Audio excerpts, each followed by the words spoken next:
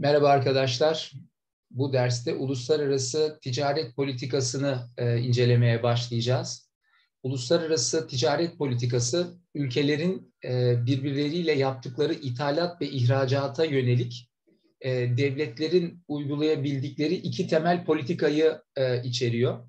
Öncelikle uluslararası ticaret politikasının tanımına bakarak başlayalım. Bakın ders notunda kamu otoritesinin devlet diye anlayabiliriz. Ülkenin dış ticaretinin belirlenen hedefler doğrultusunda düzenlemek amacıyla başvurduğu her türlü önlem ve düzenlemelere uluslararası ticaret politikası deniyor. Uluslararası ticaret politikası ya da dış ticaret politikası bir serbest dış ticaret politikası olarak serbest dış ticaret politikası, ikinci olarak da koruyucu dış ticaret politikası olarak e, ele alınabilir. Türkiye ekonomisinden bir örnek vermek gerekirse, Türkiye serbest dış ticaret politikasına 1980'den sonra geçmiştir. Koruyucu dış ticaret politikası da genel olarak Türkiye'de 1980 öncesi dönemde geçerlidir. Peki nedir serbest ve koruyucu dış ticaret politikalarının mantığı? Birer cümleyle giriş yapalım, detaylandıracağız ardından. Serbest dış ticaret politikası devletin dış ticareti olabildiğince, olabildiğince serbest bırakması, ithalat ve ihracat üzerinde herhangi bir kısıtlamayı mümkün olduğunca yapmaması demek, limitte hiç yapmaması demek. Serbest ticaretin dünya refahını ve ülke refahını arttıracağına inanan yaklaşım demek. Koruyucu dış ticaret politikası ise aksine ekonomiyi yabancı ithal ürünlere karşı korumaya dönük önlemler. Mesela bilirsiniz kotalar, gümrük vergileri gibi araçlar e, koruyucu dış ticaret politikası deyince ilk akla gelenleri. İster koruyucu dış ticaret politikası olsun, ister serbest dış ticaret politikası olsun.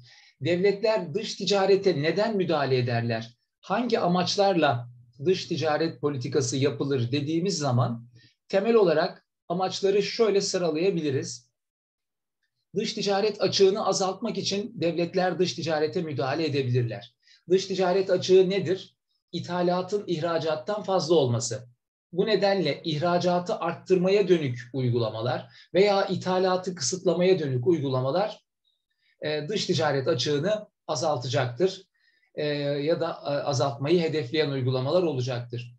Ülkenin yerli endüstrisini, yerli üreticilerini dış rekabete karşı korumak için de dış ticarete müdahale edilebilir. Bunların nasıllarını, yöntemlerini birazdan detaylandıracağız e, ithal mallar ülke içinde çok fazla alıcı buluyorsa, yerli üretim daralıyorsa, dolayısıyla işsizlik artıyorsa istihdamı arttırmak, yani işsizliği azaltmak için de devletler dış ticarete müdahale edebilirler.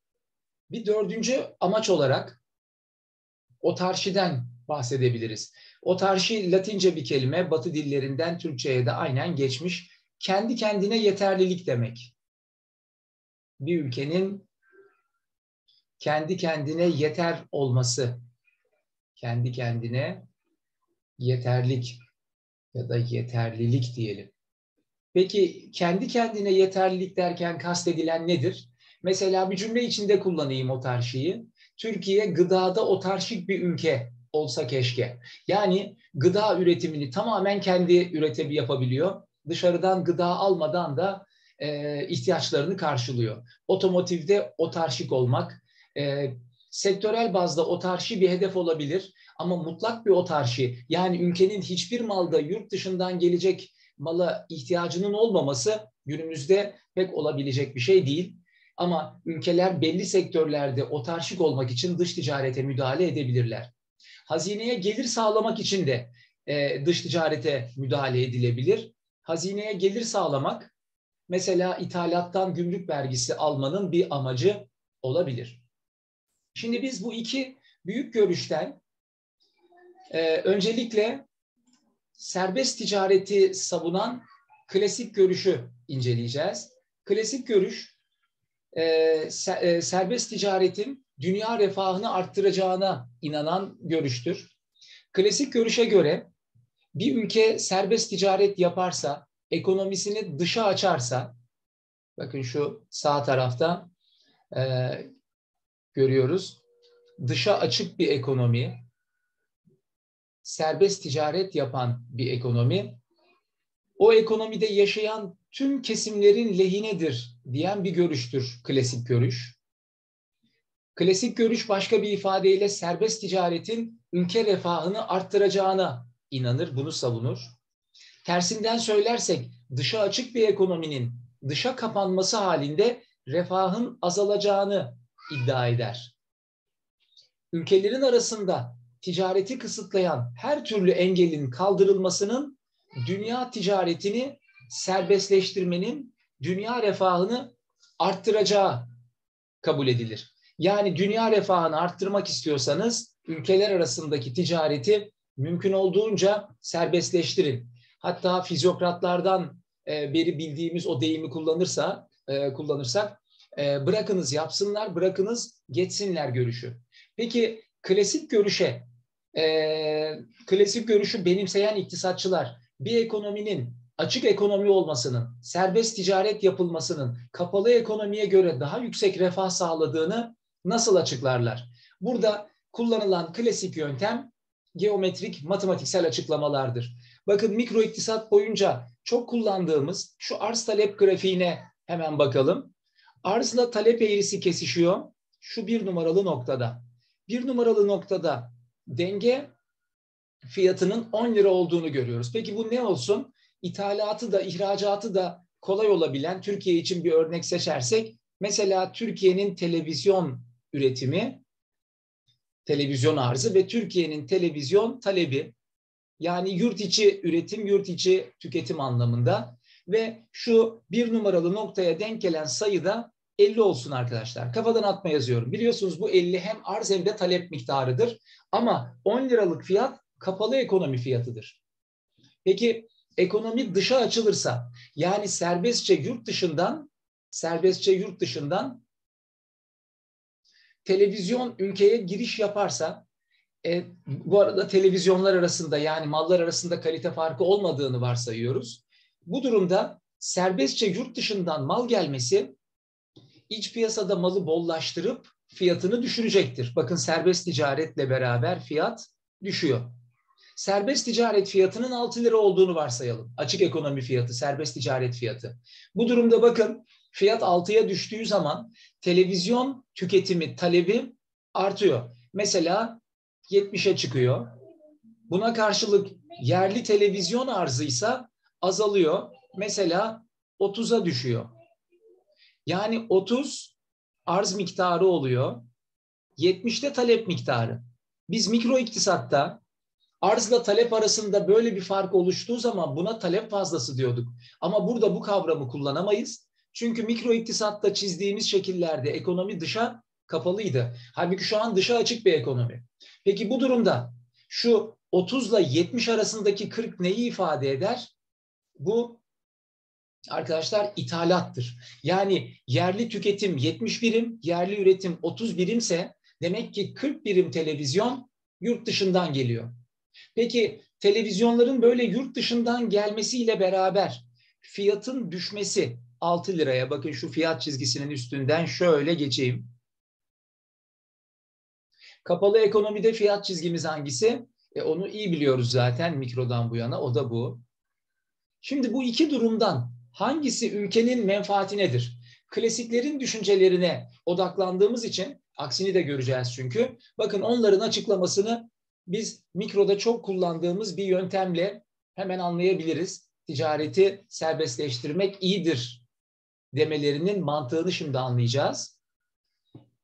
Bu grafikte şu talep eğrisiyle 10 liralık fiyat arasında kalan şu alana A alanı, şu alana B alanı, şu alana C alanı, şuraya D alanı ve şu dik üçgene de E alanı adını veriyorum arkadaşlar. Mikro bilgimizi kullanalım. Şöyle biraz daha küçülteyim ekranı. Evet. Mikro bilgimizi kullanalım. Eğer ekonomi dışa kapalı kabul edilirse, dışa kapalı, dışa kapalı bir ekonomide, dışa kapalı bir ekonomide tüketici rantı hangi alandır?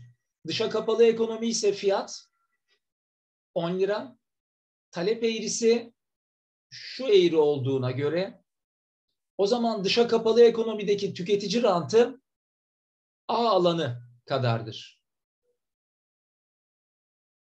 Peki üretici rantı? E, üretici rantı da arz eğrisi ile fiyat arasında kalan alan olduğuna göre şöyle bakın arz eğrisi bu arkadaşlar. B ve C'yi eklersiniz. Peki tüm toplumun refahı ne kadar? A artı B artı C kadar. Peki serbest ticaret olsa ne olur? Ona bakalım. Serbest ticaret olduğu zaman bu grafikte fiyat çizgisi olarak fiyat çizgisi olarak şu 6 lirayı kabul edelim. Peki 6 lirayı kabul edersek arz eğrisi de bu olduğuna göre üretici rantı bir anda sadece C'ye düşer. Ama tüketici rantına bakarsanız serbest ticaret ilk planda tüketicileri çok memnun eder. Bakın talep eğrisi ve fiyat.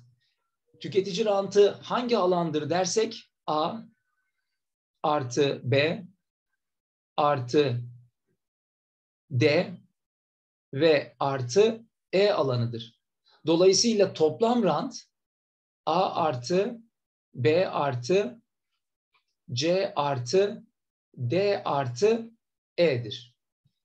Bu yolla neyi göstermiş oluyor klasik görüş? Bakın demiş oluyor ki arkadaşlar, görüldüğü gibi bir ekonomi serbest ticaretten kapalı ekonomiye geçerse, şöyle okla göstereyim, toplam rantta DE alanı kadar bir kayıp oluyor. İşte buna refah kaybı diyorlar. Refah kaybı ya da dara kaybı. Dara kaybı neresi? İşte şekilde eğer böyle renkli kalem kullanma imkanınız varsa dara kaybı işte şu alan arkadaşlar. Şu mavi ile boyadığım alan refah kaybıdır. Tabii bu geometrik olarak her ne kadar ikna edici gözükse de gerçek yaşam verileriyle çok da uyumlu değil. Bunu söylemeliyim. Ama klasik görüş e, serbest ticareti bu şekilde e, yüceltir. Serbest ticaretin faydasını bu şekilde anlatır. Klasik düşünceye göre bütün dünya ticareti tamamen serbest olmalıdır. Bu birinci en iyi seçenektir. Birinci en iyi seçenek. Ama dünyada bütün ülkelerin serbestçe ticaret yaptığı e, bir ortam, bir durum, bir dönem yaşanmamıştır. Fakat bölgesel anlamda ülkeler entegrasyona gidebilirler, gitmekteler. Nasıl bölgesel? Mesela Avrupa Birliği ülkelerini düşünün. Avrupa Birliği ülkeleri kendi aralarında dış ticareti gümrük vergisi ve kota kullanmadan yapıyorlar.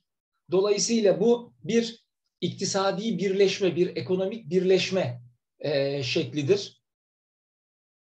Bütün dünya ticaretini serbestleştirmek birinci en iyi ise, en çok tercih edilen durumsa yani, bütün dünyayı değil ama dünya içinde belli sayıda ülkenin bir araya gelip ticareti serbestleştirmesi de ikinci en iyi durumdur. İkinci en iyi durum. İkinci en iyi durum ülkeler arası ekonomik birleşmelerle açıklanır. Bizim ders notunda 74. sayfaya geçeceğimizi söylemiştim. Bakın ben onu hemen e, bunun arkasındaki sayfaya aldım. Yeni katılan arkadaşlar 74'ten takip etsinler. İktisadi entegrasyon türleri, birleşme türleri. Yani belli sayıda ülkenin bir araya gelip arkadaşlar dış ticareti serbestleştirmesi nasıl olur? Bunun en gevşeğinden en ileri kapsamlı olanına kadar beş türü var. Birincisi tercihli ticaret anlaşması ya da kısmi ticaret anlaşması denilen tür. Burada şöyle yapılıyor tercihli ticaret anlaşmasında. Bir kere en dar kapsamlı olanının olduğunu söyleyerek başlayayım. Anlaşmaya üye olan ülkeler, şunun altını çizersiniz, tek yanlı veya karşılıklı olarak belirli mallar üzerinde gümrük vergilerinde, gümrük tarifesi vergi demek, indirim yaparlar. Mesela diyelim ki Türkiye, İran ve Rusya tercihli ticaret anlaşması yaptıysa bu üç ülke bazı mallarda kendi aralarında gümrük vergilerinde indirime gider arkadaşlar. İşte buna kısmi ticaret anlaşması denir. Bunun bir ileri adımı serbest ticaret bölgesidir. Serbest ticaret bölgesinde şöyle örnekleyebilirim. Hani A ülkesi, B ülkesi ve C ülkesi düşünün arkadaşlar. Bunlar birbirlerinden tüm sanayi mallarını hiç vergi almadan ithal eder, ihraç ederler. Yani kendi aralarında tüm vergiler sıfırlanır.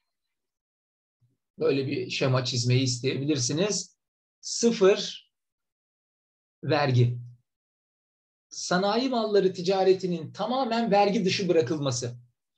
Eğer A, B, C ülkeleri bir gümrük e, serbest ticaret bölgesi kurmuşlarsa, yani şu üçlünün organizasyonu bir serbest ticaret bölgesi ise arkadaşlar, bu üç ülkenin dışında kalan bir dördüncü ülke, diyelim o dördüncü ülke Çin olsun, bu dördüncü ülkenin bu diğer üç ülkeye mal satışında her ülke kendi bildiği gibi önlem alır. Mesela B ülkesi Çin'den gelen maldan hiç gümrük vergisi almaz. C ülkesi yüzde on alır. A ülkesi belki yüzde elli alır.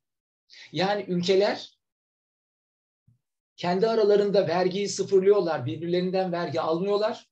Ama dışarıya karşı ortak tarife uygulamıyorlar serbest ticaret bölgesinde. Serbest ticaret bölgesi ülkeler arasında vergilerin kaldırıldığını ama e, birlik dışındaki ülkelere ortak bir tarifenin uygulanmadığını bize hatırlatmalı sınav için.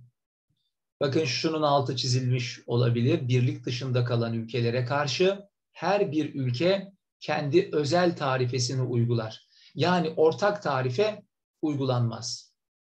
Bunun tarihte örnekleri var.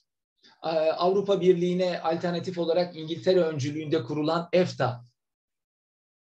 EFTA yani Avrupa Serbest Ticaret Bölgesi açılımını yazabilirsiniz.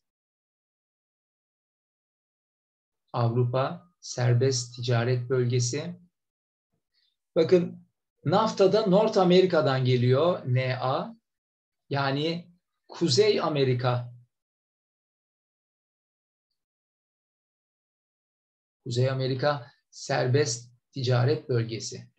Mesela Kuzey Amerika Serbest Ticaret Bölgesi'nin üyeleri kimler? ABD, Meksika ve Kanada.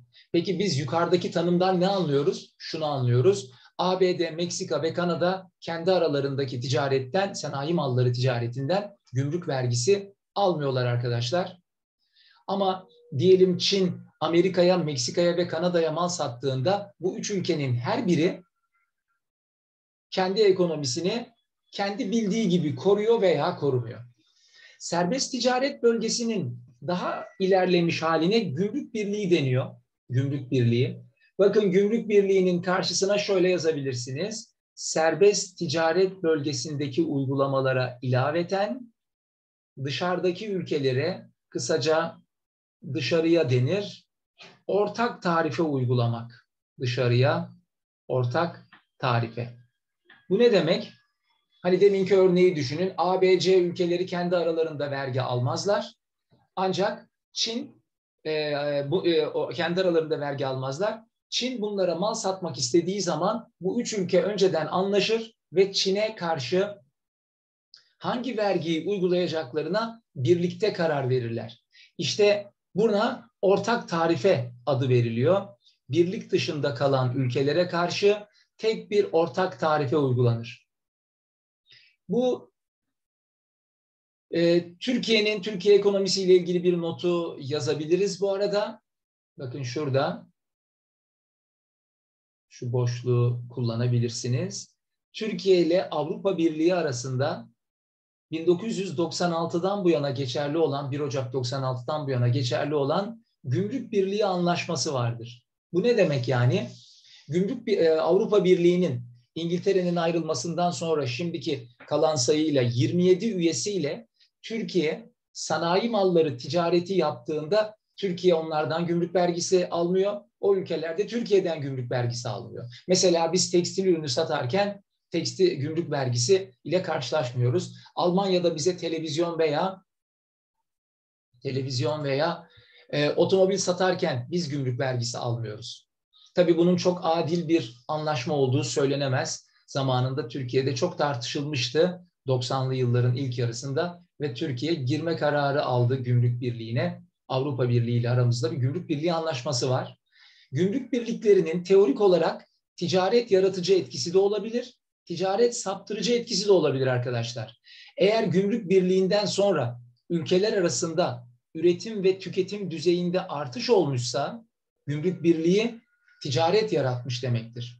Ama bazen şöyle olur. Gümrük birliği kuran ülkeler bir malı en düşük maliyetle üreten ülkeyi gümrük birliğine almamışlarsa eğer gümrük birliği kurmak gümrük birliği kurulmasından önceki döneme göre daha az ticarete imkan verebilir. Buna ticaret saptırıcı etki deniyor.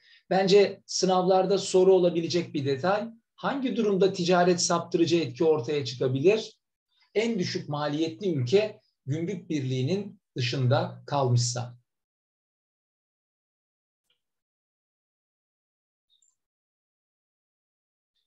Gümrük Birliği'nin bir ileri aşamasına ortak pazar denir arkadaşlar. Ortak pazar. Ortak pazar demek Gümrük Birliği'ndeki tüm uygulamaların üzerine emek ve sermayenin ülkeler arasında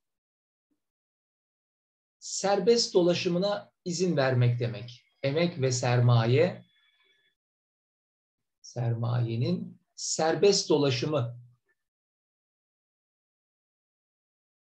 serbest dolaşımı gümrük birliğinden daha ileri bir e, birleşmedir. Üyeler kendi aralarındaki ticareti serbestleştirip dışa karşı ortak tarife uygularlar. Ama fark şuradan geliyor. Emek ve sermaye gibi üretim faktörleri bölge içinde serbest dolaşım hakkı elde eder. Yani bugün nasıl biz Türkiye'de Türkiye'nin bir ilinden diğer iline geçerken e, herhangi bir engelle karşılaşmıyoruz. Mesela ben bu dersleri anlatmak için İstanbul'a, Isparta'ya, Denizli'ye veya Antalya'ya e, rahatça gidebiliyorsam, Ankara'ya gidebiliyorsam, eğer ortak pazara kabul edilmiş olsa Türkiye, sadece uçak biletini alarak Almanya'da iş aramaya gitmekte e, Türkiye Cumhuriyeti vatandaşları için serbest olacaktır. Avrupa Birliği ülkelerinin Türkiye'nin tam üye olmasına niye sıcak bakmadığını bu ortak pazarın bu koşulundan kolaylıkla anlayabiliriz. Ortak pazarın da ileri aşaması iktisadi birliktir, ekonomik birliktir. Avrupa Birliği en yakın örnektir ama gerçek anlamda bir iktisadi birlik günümüzde henüz yoktur. Ama şöyle yazalım, Avrupa Birliği en yakın örnektir. Peki nedir iktisadi birlik? Ortak pazarın ötesinde, ortak pazarı aşıyor, mali ve para politikalarının koordinasyonunu da gerektirir. Üye ülkelerin bireysel makroekonomik politika izlemekteki bağımsızlıkları bir ölçüde birliğe devredilir. Birkaç kavram yazdığımda hemen anlayacaksınız arkadaşlar. Daha net anlayacaksınız daha doğrusu. Birlik içindeki ülkeler milli paralarından vazgeçerler. Ee, birlik içerisinde tek merkez bankası kurulur. Avrupa Birliği Merkez Bankası gibi mesela Frankfurt'ta. Ee, tek parlamento, Avrupa Birliği parlamentosu ama Avrupa Birliği parlamentosu kurulmuştur fakat e, ülkeler milli parlamentolarını zamanında böyle e, niyet edilmesine rağmen henüz feshetmiş değillerdir. Yani iktisadi birlikte hedef gelecekte bütün Avrupa ülkelerinin bir araya gelip adeta hani Amerika Birleşik Devletleri gibi Avrupa Birleşik Devletleri haline gelmesidir. Bakın bununla ilgili sorular kurum sınavlarında da KPSS ve kaymakamlık e, sınavları gibi sınavlarda da soru olabiliyor. Ee, mesela geçen yıl şanslıydık 2021 KPSS sınavında sanki benim ders notumdan hazırlanmış gibi e, bir soru vardı. Onu çözerek başlayayım önce. Beşinci soru. Bakın iktisadi birlik, tercihli ticaret anlaşması, gümrük birliği, serbest ticaret bölgesi ve ortak pazar. Bu iktisadi birleşme türlerinden, türlerinin dar kapsamlıdan geniş kapsamlıya doğru sıralanışı e, diyor. Dar kapsamlıdan geniş kapsamlıya. E, en dar kapsamlısı tercihli ticaret anlaşması. Yani iki ile başlamak lazım. Bir sonraki adımda serbest ticaret bölgesi 4, sonra gümrük birliği 3, sonra ortak pazar ve nihayet iktisadi birlik. Birinci soruya bakarsak 2013 KPSS sorusu. Bakın burada üyeler arasında ticareti serbestleştirip üçüncü ülkelere karşı ortak tarife uygulamasını sağlayan, ayrıca emek sermaye gibi üretim faktörlerinin üye ülkeler arasında serbest dolaşımını gerektiren ekonomik bütünleşme türü serbest dolaşım da olduğuna göre ortak pazar dememiz lazım. Kısmi ticaret anlaşması ya da tercihli ticaret anlaşmasının tanımı nedir? Tercihli ticaret anlaşmasında belli sayıda malda karşılıklı veya tek taraflı olarak e, vergileri düşürmek. İki ya da daha fazla ülkenin seçilmiş bazı mal ve hizmetler için ticareti serbestleştirmeleridir. Üçüncü soruda üye ülkelerin aralarındaki ticarette tüm kısıtlayıcı faktörleri kaldırdıkları ancak üçüncü ülkelere karşı her birinin farklı dış tarife, farklı dış tarife olduğuna göre gümrük birliğine varamıyor. Bir önceki adımda kalıyor. Serbest ticaret bölgesi oluyor. Üye ülkelerin aralarındaki ticarette gümrük tarifeleri ve diğer kısıtlayıcı önlemleri kaldırıp dışa karşı ortak gümrük tarifesi uygularken faktörlerin serbest dolaşımına dikkat edin izin verildiği demiyor, izin verilmediği, izin verilmediği e, iktisadi bütünleşme. O zaman ortak pazara varmıyor bu. Gümrük birliğinde kalıyor. Ve altıncı soruya bakarsak üye ülkeler arasında bir serbest ticaret anlaşmasının bulunması ve üye olmayan ülkelere karşıysa ortak tarifelerin uygulanması durumunda ortak tarife uygulanıyor. Serbest dolaşımdan bahsetmiyor. O zaman bu da gümrük birliği demektir.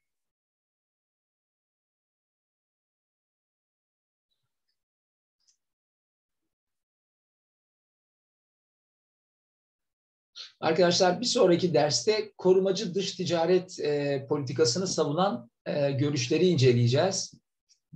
E, şimdilik hoşçakalın.